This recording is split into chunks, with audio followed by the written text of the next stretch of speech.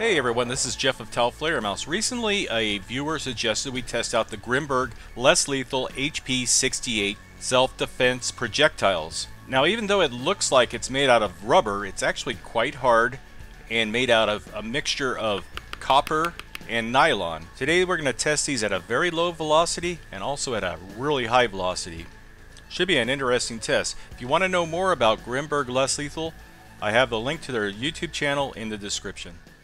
Welcome back, Tau Flatter folks. Bullseye Brianna here. No need to panic, I'm back. uh, today we're going to be shooting some Grimburg less lethal 68 caliber solid shaped projectiles. I've got one right here on my finger. And we've got some less lethal rounds.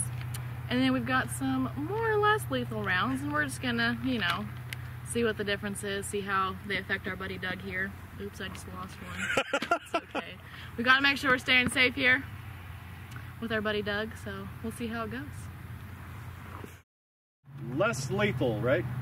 Yeah.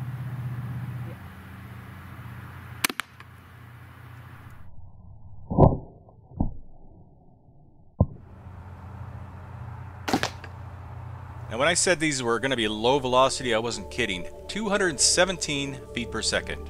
Now we almost didn't even need a high-speed camera to film this, but it doesn't hurt. Now the important thing here was even though it wasn't accurate, even at that low velocity it was pretty stable in flight. Okay, now the more or less lethal one.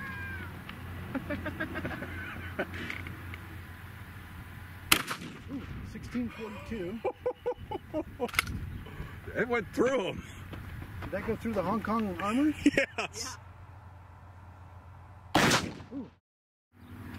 Well, I hit the bungee cord, so We told you not to hit the bungee cord. You, my bad. This is the only bungee that we have for the whole year. that's there goes my budget for the video right there. bungee shortage.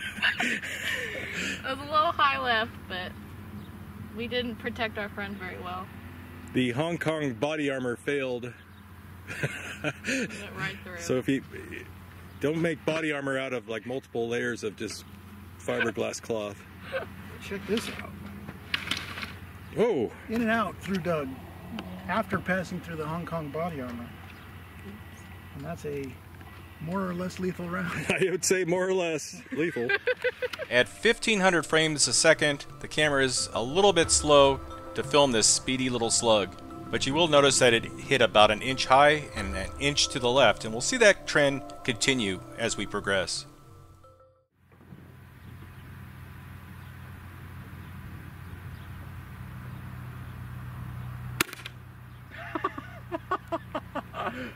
It's still low and left. Look at that. The less lethal were low and left, so we're gonna have to make some adjustments for that. You actually see it in there. As slow as it was going, it what? How far to go in? That's about inch and a half, two inches. Okay. It's right there. Looks like it was flying nice and straight though, even at that really low velocity. We actually see a little consistency between the first low power shot and this one, both left and low. This makes it a little tricky for the shooter to figure out just where to aim.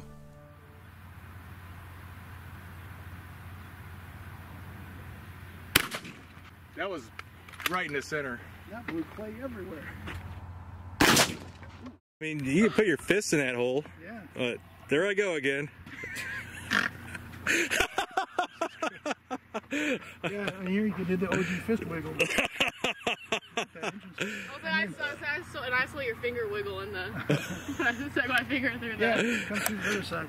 There is a wad in there. Yeah, look at Wad's that. still stuck in there. That was pretty cool. That one was a lot more accurate.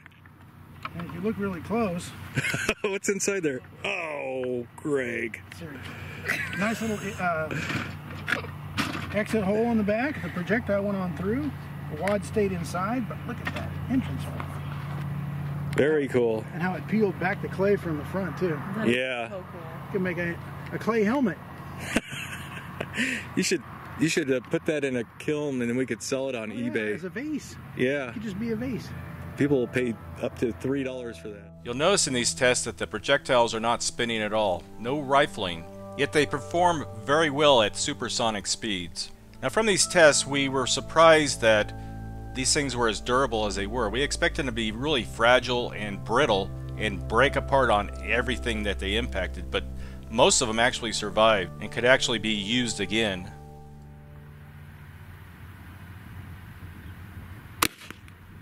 Oh, try another one. Ooh, that ah. one. Where did that one go? I think it went. It seemed to me like it went low right. I saw it hit the dirt back there. that one barely trickled out the muzzle. Oh, okay, try another one. Yeah, that got the plant stand at least. You can do it. I have. I believe in you.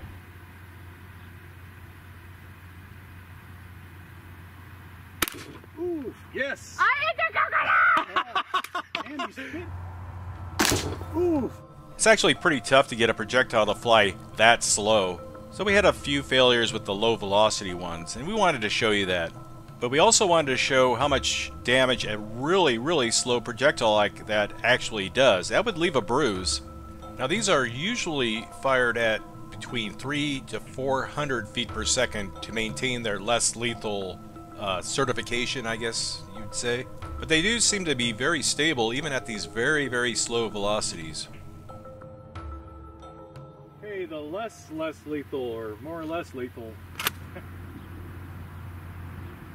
oof. That was the whole Whoa. top of his head. Look at that water.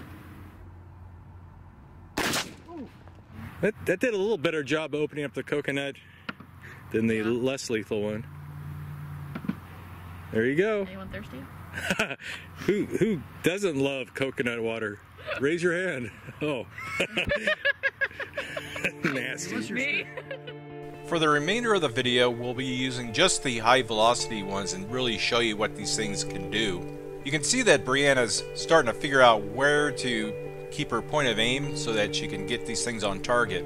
A lot of viewers unfamiliar with firearms have a notion that every type of ammunition has the same exact ballistics. But that's rarely the case. We almost always have to try to figure out where the point of impact is going to be. We got the California ballistic gel out today. Well, I think you need to strap that down for it to work. Right, the rounds are going to bounce right off if we don't strap it down, Jeff. Let's see what happens if you don't strap it down. You think, you think, how far do you think it'll go in there? I think it's going to go right through. Oh, okay. You gotta be like, pretend like you're surprised. I think it'll go a uh, half an inch. Yeah, that's what I meant. My prediction. Okay. Let's see if Brianna can even hit it.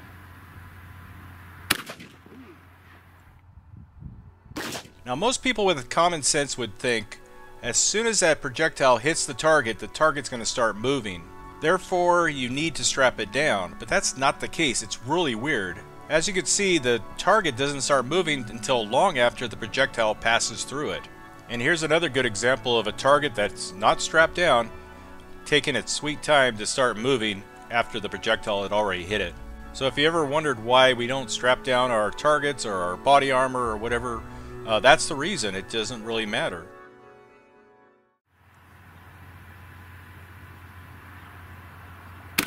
So that was high and left. I could see that. Yeah, but it opened up a big old hole.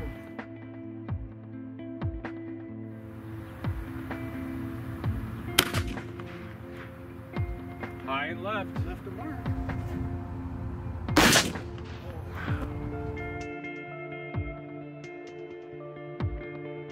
Again, a little high and left. Almost exact same distance. Yeah. And same with the coconut. Yep. But predicted uh, that it was going to knock the paint off. That thing actually did a little bit more. It made a Yeah, that's not bad. cool little hole in there. Didn't go all the way through like that one. You sure? Remember that? That's Remember that video? Right? That's not it? Okay, an iPhone, what is that? iPhone 12 Yeah, 12X Pro. Pro, yeah. It's got Okay. five cameras in the back. you can take a picture of yourself taking a picture of something. Oh, sweet! Right through it. sweet! Right through it. Hello? That's why I want my money back. Um, yeah, this was pretty, this one was pretty accurate. Home Yeah. still works though, guys. So you know, there's that. Still has four of the four of the apps that came with it. Right. That's crazy. Knocked a lot of the apps out of it. I think. But yeah, I blew the back off. I don't even think this is the back. I don't. Where's the? Is there a battery in it? I Not don't know. anymore. Yeah, not anymore. Some kid- The SIM card. Some kid in China was. The SIM card. So yeah, Hey, You could, Maybe. drop, you could still get yeah. Put that in there. You still got your does that fit anything? Is that a normal SIM card? Not anymore. I don't they're think they're, it fit they're my about half the phone. size now. yeah, they're tiny. I need Yeah. tweezers for mine. Some But- kid in uh, China was chained to a machine for a week to make that phone. We just You just destroyed that real quick. Brianna's dad just happened to show up right before this shot, and you could tell he was really proud of his daughter with this shot, as he should be. A little more tweaking of the aim, and looks like she's got it down pretty good now. Officer Gregg out here to tell you that there is no magic round that will not penetrate drywall in your house. There always seems to be an internet myth that there's a magic round out there, the perfect round where you can shoot bad guys in your house and somehow not in, uh, injure people on the other side of drywall. It doesn't exist, folks. If it's going to go into a bad guy and do any damage, it's going to pass through flimsy drywall. What we're trying to do though is hit the bad guy and not the drywall. So Brianna's going to shoot one of these more or less lethal rounds through first layer of drywall. Of course, each wall is made up of two pieces of drywall, inside and out. Then we got a hallway here, and here's room number two. Will it pass through all these layers of drywall and hit your baby?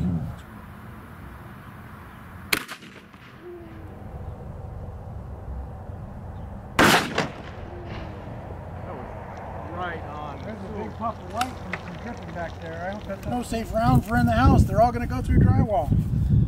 Drywall doesn't stop anything. That was a nylon round. Still hit our baby.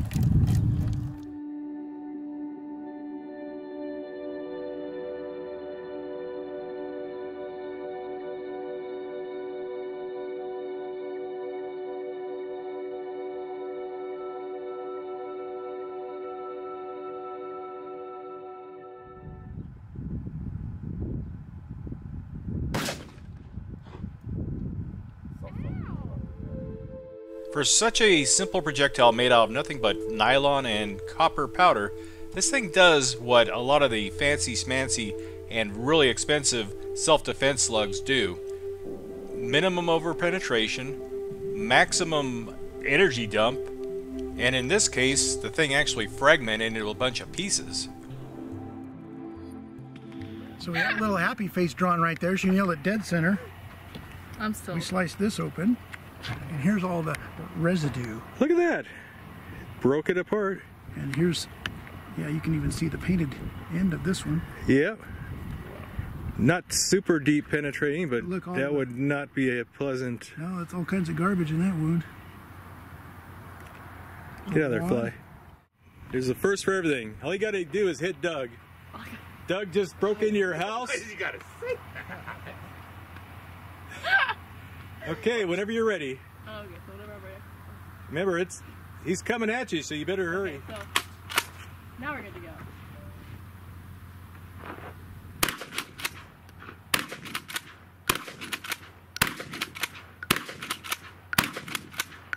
Hey, so that was pretty good. She had. Have you ever rapid fired a pump action before? No. Okay, so there you go. That's what's really great about these. There's like, how was the recoil? Not bad. Very light, Yeah, you know. it It was like maybe bad. like a, that of a 22 or something. Yeah. All of them are right on target. Oh, here's one. Some of them are popping out. However, take a look around back here where the the ones that went over his vest. Look at that. This one was old, but two rounds exited right there through his back. Yep. So those ones missed the. That was good shooting. Very good for never practice. We didn't get. We didn't. We were like, do we have some bird shots you can practice with? Well, that wouldn't be real, real realistic. There's a couple, But man, they were all on target. a couple of these things down here. Little tiny child-sized vests there. Yeah. That was fun. Well, there you go. Good job, buddy. Doug took another beating today. Yep. Good shooting. Sorry, Dad. Her dad's name's Doug too. it's like well, good shooting there. Thanks. These, I think, these would make a, um, an excellent home defense round because of the very low recoil, Yeah. but um, more or less lethal. You know. Or- or- That's lethal. Yeah. yeah, you wouldn't want one of these no. hitting you unprotected, that's for sure. Not- Yeah. Not, at that speed, full speed. Yeah. Six over 1,600 feet per second. That's that's nuts. That's a lot of feet. That's a lot of feet. In a, in a not very many seconds. That's like 800 people laying down.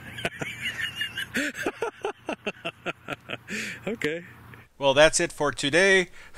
we want to thank Grimburg for sending these out for us to test. I hope you'll check out their YouTube channel.